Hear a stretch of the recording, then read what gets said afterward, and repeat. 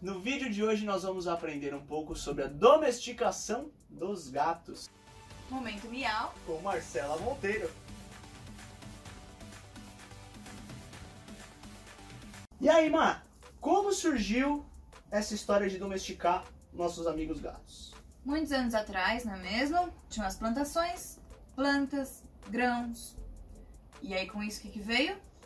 Roedores. comida, milho. Roedores. Os roedores, nossos queridos roedores também. Praga pra quem tinha plantações, não é mesmo? E aí, nós humanos da época achamos os gatos e falaram: ah, eles comem os ratinhos, por que não trazer eles pra conviverem com a gente? Uma coisa mútua, certo? E eu procurei aqui no dicionário o significado de domesticação. Hum, Ato, processo ou efeito de domesticar ou domesticar-se. Dominação, sujeição. O homem apresenta buscar indivíduos na natureza que tenham características que sejam favoráveis para o homem. pois Né? é, e um animal para ele ser doméstico, ele precisa apresentar essa dependência. É um animal que ele não sobrevive se ele não tiver um cuidado humano. Ou seja, se ninguém alimentar, é um animal que provavelmente não consegue se alimentar, se virar sozinho na natureza. Por isso que a gente diz que ele é doméstico. Obviamente, nem sempre é assim. Um grande exemplo é o próprio gato, né, mano? Eles ainda são semi-domesticados, eles não estão 100% domesticados. Por quê? 95,6% dos genomas desses gatinhos aqui são iguaizinhos aos do tigre. Você sabia disso? Não sabia disso. Inclusive, mata no vídeo aí do tigre, dá só uma olhada. Deixa eu ver como que é. Ai, Existe um tigrinho dentro dele. Eles são.